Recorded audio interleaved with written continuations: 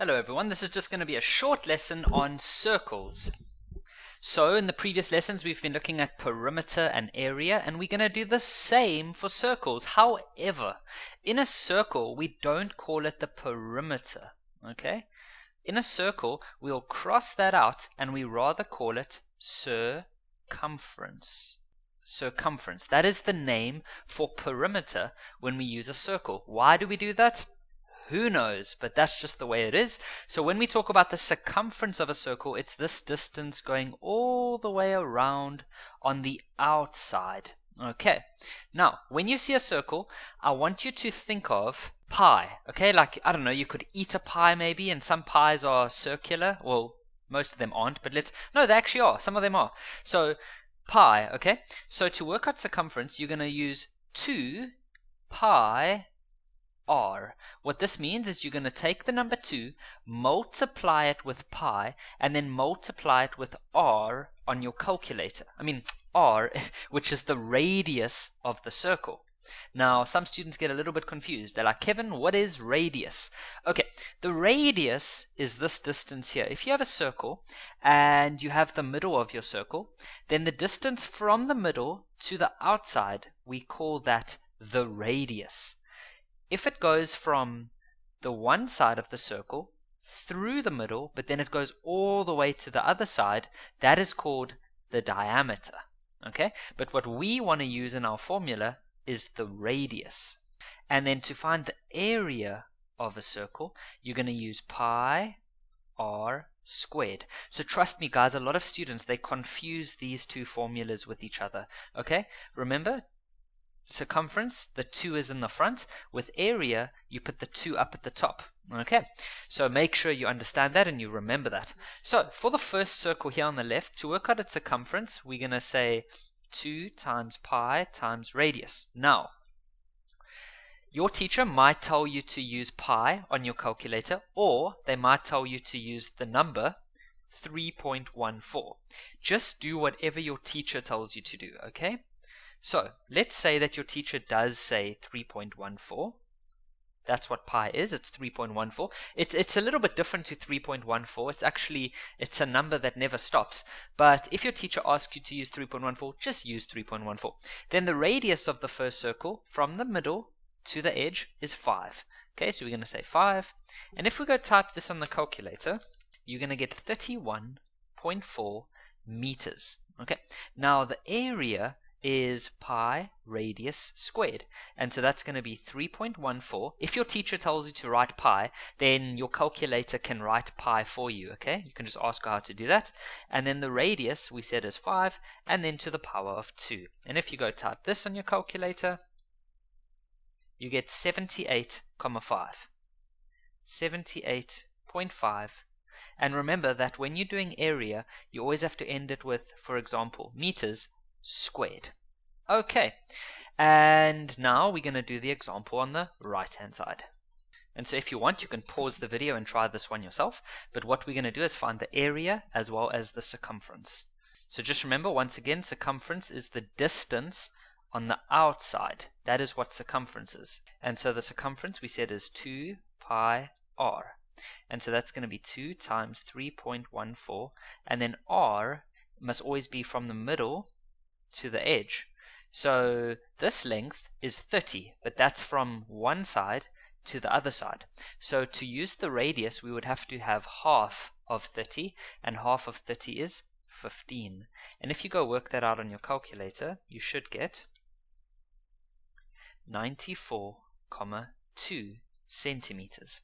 Then to work out the area, we know that that's going to be pi r to the power of 2, and so that's going to be 3.14 we said that the radius is 15 and that's to the power of 2 and that's going to give us 706.5 centimeters squared.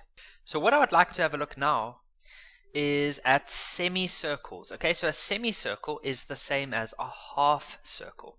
So let's we're going to work out the perimeter, well we should call it the circumference. Or no, now we don't have to really call it a circumference it doesn't really matter. You can call it perimeter or circumference. Um, but because it's got a straight piece, I'm also I'm just going to call it the perimeter. Okay, now Pay attention, guys. This is where some students get a bit confused. The perimeter is the distance that you have to walk around the shape. So, you would have to walk all of this, and then you would also have to walk along here. Okay, so let's start with the blue piece. How far do you think the blue piece would be? Well, the blue piece is just going to be 20. Why? Because it's 10 up till here, and then another 10. Okay, so that length is 20. So we've done that. Now, how are we going to work out this length over here?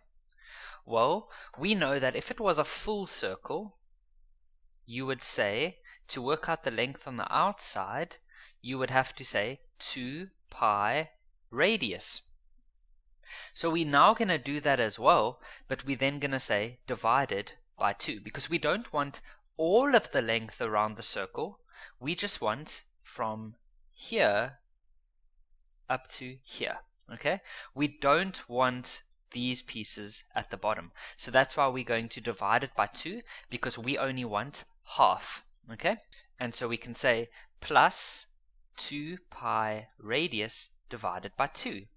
And so that's going to give you 20 plus. Now, pi, your teacher will probably ask you to say 3.14, and then the radius of the circle is always from the center to the outside, and so that's going to be 10.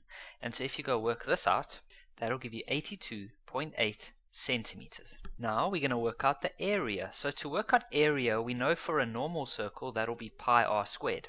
But that's if we have a whole circle. And so area is always the stuff on the inside. But now we only have half of that. Okay, so we only we only want half of that. So what we're going to do is we're just going to divide this one by 2. And so that's going to be pi times the radius, which is, oh no, pi, sorry, is 3.14. The radius is 10, and that's going to be squared divided by 2. So this is going to give us exactly 157 centimeters squared. Okay, now we're going to move on to a quarter circle. So here we have a quarter circle. So a quarter circle is the same as a normal circle that has been cut into that. Okay, so it's been cut into four, and we just have one of those fours. Now, to work out the perimeter, that's the distance on the outside. So we know that this length is 20. This length would also be 20. Why?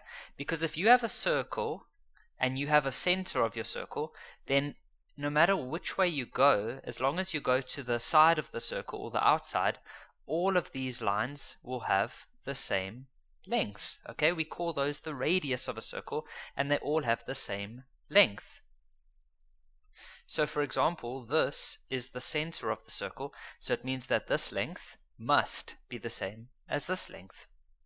And so we know that this part here would be 20, and so we already know this length is 20, and this length is 20. Now we need to find a way to work out this part on the outside. So we know that if it was a complete circle, to work out the length on the outside, you would say 2 pi radius for circumference, and that would give you all of this. But we only want one quarter, so we only want to go from here up to here. We just want this piece.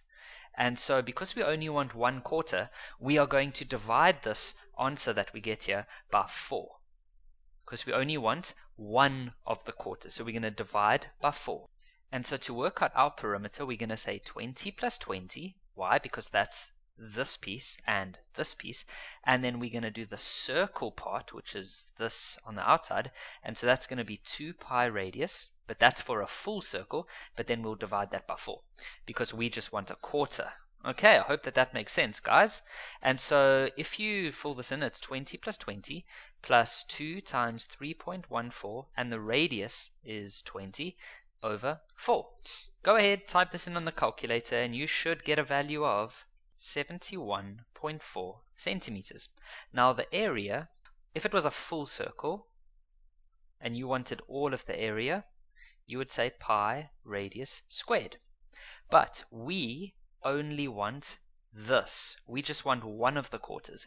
And so we're going to take that answer and we're going to divide that by 4. Okay, and so if you go fill this in, well, you first say pi, nope, not pi, Kevin, we're going to use 3.14. So 3.14 multiplied by the radius, which is 20, to the power of 2 divided by 4. And that's going to give you 314 centimeters squared. Remember, area always gets a squared. And so there we have it, guys. In this lesson, you learnt about circles. Thank you very much for watching.